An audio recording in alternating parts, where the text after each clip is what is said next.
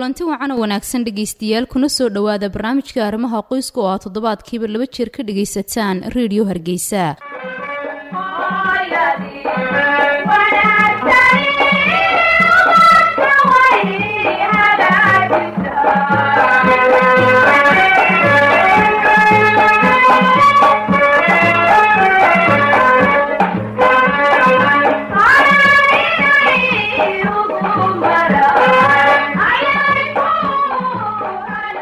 barnaamijkan arrimaha qoys aalaaba dhegeystayaal wuxuu idiin soo gudbiyaa waxqabadka iyo horumarka inta badan ay soo kordhiyaan haweenka ama hablaha ee ku dhaqan somalilan gaar ahaan hargeysa. Maanta waxaa igu marti ah suhayr fu-aad xuseen oo ka mid ah hablaha da-da yar lisa markaasina ganacsi iyadu mulkiyadeeda iyo maamulkeedaba gacanta ku hayso ku soo korreysay isla magaalada hargeysa oo ah shirkada suhayr travel agency oo ah shirkada isku socodka iyo soo saarista fiisayaasha dalkugalka dalal kala duwan oo kamida dunida. Marka hore ku soo dhawow suhayr barnaamijka arrimaha qoyska bal ugu horeyn waxaad iiga warantaa sidii aad u aasaastay shirkadaadan suhayr travel agency. Bismillaahi raxmaan raxiim waa mahadsan tahay walaal igraan. Suhayr travel agency waxaan ku soo hirgeliyey magaalada hargeysa. Markii ugu horeysaan fikradda bilaabay waxaa igu keenay mar kasta in badan baan waxaan ahaa shaqaale. Markaa waxaan ku fikiray bal anigoo inan inaan waxaan anigu leeyahay abuuro oo waddankaygii anigoo jooga aan aasaaso. Kadibna taasaa ii fududaysay fikraddii shaqaalanimada ayaa igu kaliftay inaan anigu waxaan leeyahay furto. Alxamdulilah meel fiican bay ii muraysaa. Saas baabna igu kaliftay inaan anigu waxaan leeyahay furto. Ana kana abuuro waddankaygii. Waana muhiim inaad adigoo inan a mar kasta aanad noqon shaqaale laakiin aad ku taamtid waxaad adigu leedahay iyo weliba maamulaha shirkada isku socodka suhayr travel agency kadib markaad intaad bilaabaysay amaad qorshayaashan ku jirtay ma jireen wax caqabadaha oo kaa hor istaagay amaba kaa hakiyey inaad shirkada ay halkii la rabay ay gaadho ama aad furtabaad ku guulaysato? Ha way jiraano bulshada koley kala duwan. Markaad la kulantid xagga ragga oo kale waxay ku dhahayaan inanimaa lagu ragaadinaya lagu oranayaa dib noqo inan baa tahay waxaan kuuma wanaagsana suuqa kuuma wanaagsana. Marka taas baa aniguna maan sii dhegeysan because of hami baan lahaa. Hamigaygii ayaa igu taamiyey mar walba horena ii socodsiinayay inaan anigu waxaan leeyahay aan maanta furto. Haddaan dumarkeennu arumayn hamigeenna miyaan hegsalaynba inaan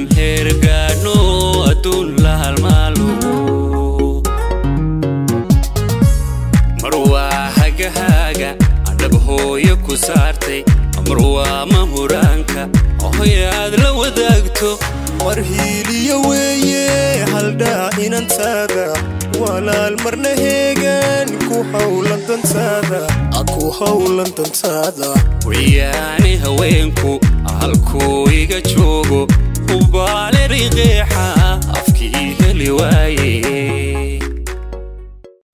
imika waxa ay furan muddo dhowr biloodaha shirkadii waana shaqaysaa bal waxyaabahaad isleedahay inta shirkadu socotay waad ku soo kordhisay oo waad qabatay oo hadafyadaadii waad gaadhay maxaa ka mid a waxaan ku soo kordhiyey dadkii waxaan u fududeeyey inay tagaan wadamo ka duwan wadamaday tegi jireen. Inay dhalinyartii maanta yaryaraa ee u baahnaa shaqa abuur qaar ka mida aan maanta shaqaaleeyey. Taasba aan ka gaadhay meel maanta intaan shirkadeedii ii furnay. Maxaad shirkadaada sahayr aad isleedahay way kaga duwan tahay shirkadaha kale ee dhanka shaqada oo kaleeto. Iminka waxaad sheegtay inaad ku soo kordhisay hal abuur oo inay dhalinyar shaqaaleysiisay islamarkaasina wadamo kale oo maxaa ladhahdaa aan hore loo tegi karin aad dadka u fududeynayso dalkugalkooda maxaa adiga markaa kuu fududeeyay baad isleedahay maxaa ladhahdaa aad shirkadaha kale ama businesska kale lamidka aad kaga duwan tahay? Waxaan kaga duwanahay anigu waxaan doonayaa waxaan aan maanta furtay maaha wax ganacsiya aan dadka kaga ganacsanayo. Laakiin waxaa weeye dadka inaan u fududeeyo wax yaroo jaban wixii aan suuqa ku geli lahaa uu noqdo sumcad inaan ku yeesho dadkaygii iyo wadankaygiiba markaa taasaa kalifaysa inaan meelaha aan yacni aan u keenayo dadka ama geynayo aan ay noqdaan qiimo jaban. Laakiin hadduu wixii ganacsi kaa galo ay noqoto inaad lacag heshid dee debel baad ka dhigaysaa iyo markaa ummaddii saas darteed ama ganacsigaagii wuxuu noqonayaa dee inaad ka ganacsanaysid ummaddii. Marka taas ayaa aniga igu kalifaysa in aan suuqa kaga duwanaado qiimayaashayda qaar.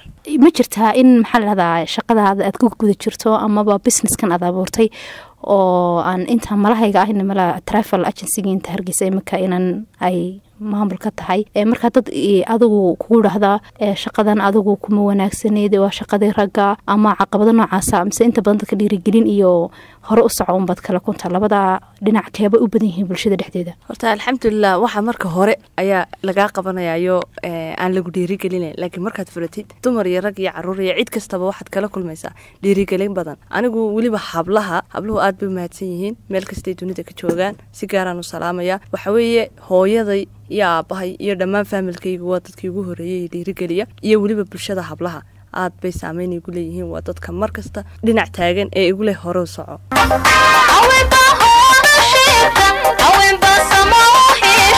haweenbaa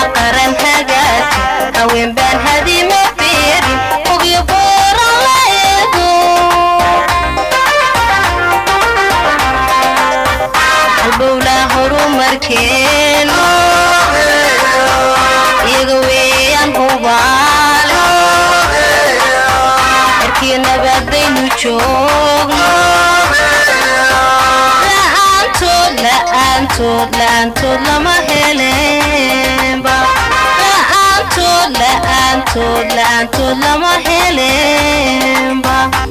mar hadday ka mid yihiin dadka ugu badan ee ku dhiirigeliya haweenku shaqaalahaguna maadaama shirkada gabadi maamulo ka tahay islamarkaasina mulkiiliyadeeda leedahay shaqaaluhuna ma u badan yihiin habluhu mise dhankii ragga ayaad u badisa cadaalad baa sameeyo dumarkuna walow ay shirkadda weli yar tahay oonan oran karin iminka shaqaale badan baan qaatay laakiin inta qorshaysan iyo iminka intaan sameeyeyba rag iyo dumarba cadaalad baanu sameeyey aad baa mahadsan tahay.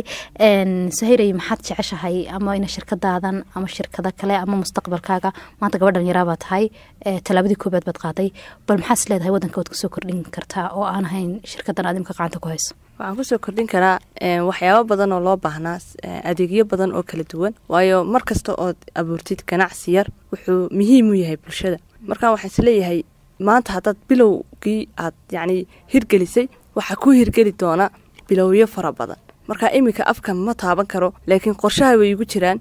Ganacsiyo badan oo aan dhowaan insha allah wadanka ka hirgelin doono. Waxay doonaanba ha noqotee laakiin faa'iido u leh bulshada iyo dadka iyo dhammaan cid kasta oo danaanaysa dumar wa ahaha ahaan uu ku yahay kana umanaha idil neefla oo wa ababsha iyo hoyo erayna bara. Marna waa afada aqalnala dhisto marna waaba ina walanala aho.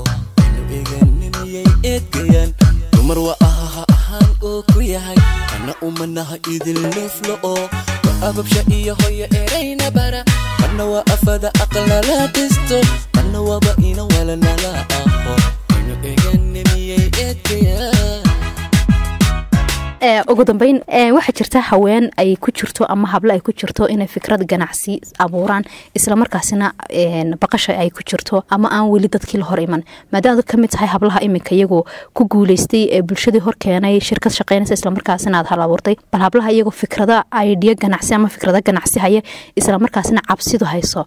Maadaamad way arag tahay maxaad kula talin lahayd? Hablaha waxaan kula talin lahaa inay hor yimaadaan bulshada inaanay cidna dhegeysan saameynta cidda kule yacni qofka ugu horey naftaada haddaad adigu aamini weydid cidna ma aaminaysa marka waxaan kula talin lahaa inay hore u socdaan inay naftooda aaminaan inay waxaan ay niyadda gashtaan inay qaban karaan inay cid kasta kaga awood badan yihiin. Aanay qofna sugin habluhu. Mar kasta iyagaa ragga ka dhabar adayg badan iyagaa kaga karti badan. Marka waxuu leeyahay hablaha ganacsiga haya ama fikirkooda inay hore u socdaan ay aaminaan inay iyagu cid kasta ka horeeyaan Amen.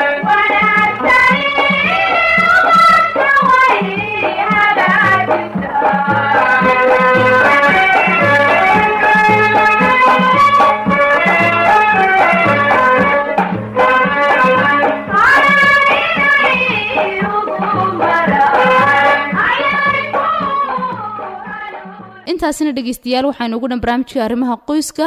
Waa tabintii iyo soo jeedintii anigoo ikraan siciid diiriya. Dhanka farsamadana waxaa igala qayb qaatay axmed ismaaciil daahir. Intaan barnaamijkan barnaamij xiga ku kulmi doono waxaan idiga tegaynaa sidaas iyo nabadgelyo